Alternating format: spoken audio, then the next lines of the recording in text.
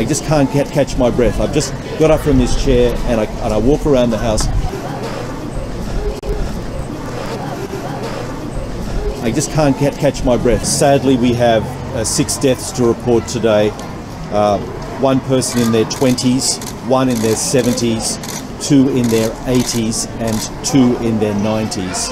Uh, all of these people had in fact received vaccine. Uh, I just can't get, catch my breath. It is a reminder that even the vaccinated can get severe disease, particularly if you have underlying medical uh, medical issues.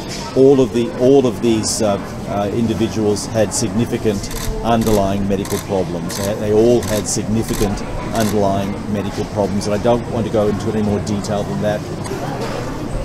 I just can't catch my breath. Uh, although this is only one day, it is what we expected, and we need to look for a trend. But it is quite likely that we will continue to see this increase over the next two to three weeks. This is what we have been projecting, and it's likely to, this is it, there is a good chance this is the beginning of that final surge before we reach a peak sometime in, in the next two weeks. Um, um, I just can't catch my breath. Um, and this is exactly as predicted as we head into uh, the peak in the next two to three weeks.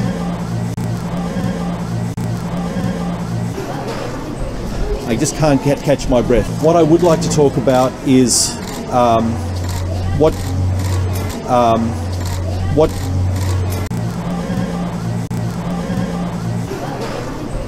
I just can't get, catch my breath. Um, what how to approach uh, COVID from a personal point of view. Now, as we are approaching the peak, if you have any of the symptoms suggestive of COVID, if you have flu like symptoms, uh, then it's likely that you have COVID. It is likely that you have COVID. I just can't catch my breath. If you have uh, headache, runny nose, um, muscle aches, perhaps a cough, perhaps chills, if you have that constellation of symptoms, at this present time, it is very likely that you have COVID 19. I just can't catch my breath. Now, sometimes if you have mild symptoms, which is particularly common in those who are vaccinated, it can be very hard to pick, and it's very hard for us to pick as well. But if you have the classical flu-like symptoms, uh, chills, cough, runny nose, headache, muscle aches, assume you have COVID 19. Now, we would like you uh, to get tested with a PCR test or, or rapid antigen test if possible. But if for whatever reason you're finding that difficult, you should just assume you have COVID 19 and isolate. I just can't get, catch my breath.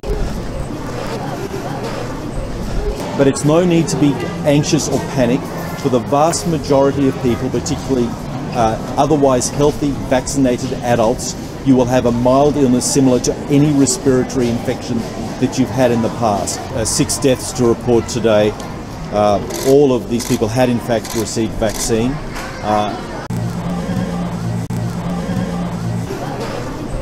I just can't get, catch my breath. Sound okay? Continue.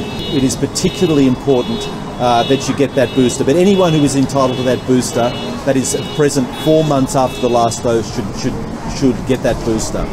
Now, if you have either confirmed COVID-19 or possible uh, COVID-19 based on the symptoms you've experienced, so what's presumed COVID-19, please don't panic. Please don't call the ambulance. I just can't get, catch my breath. The symptoms you need to look for. When, the question that I'm most frequently asked: When do I need to go to hospital? When do I need to call an ambulance? Well, probably the single most important symptom to look for is difficulty breathing.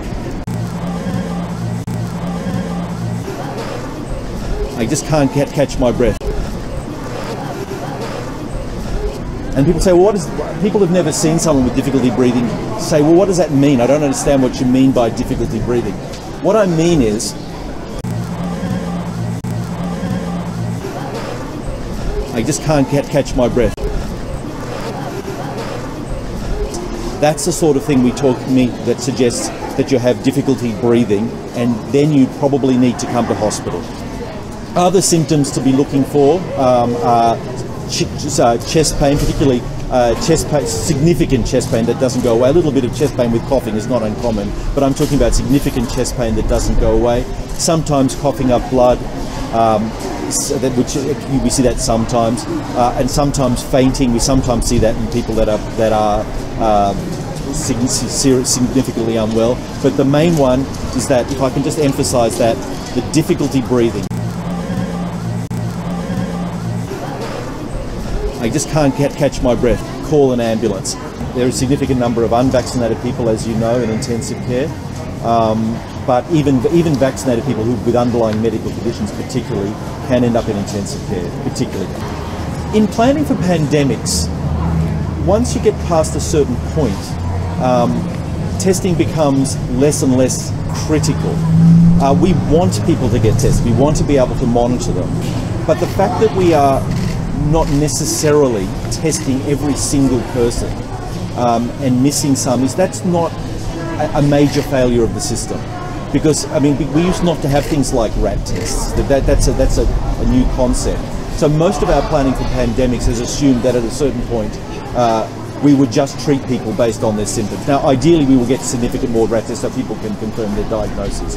But the fact that we don't, particularly if you have the typical symptoms, now as we're approaching the peak, you can you can diagnose yourself. You, it's pretty. I just can't ca- catch my breath. Call an ambulance. So if you have the obvious symptoms that I just described before, now you've got COVID.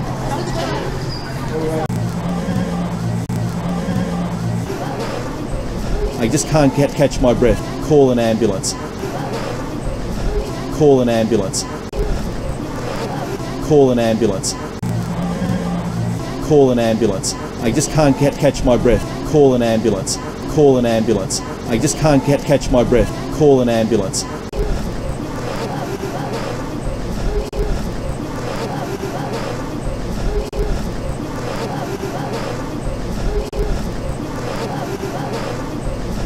Call an ambulance.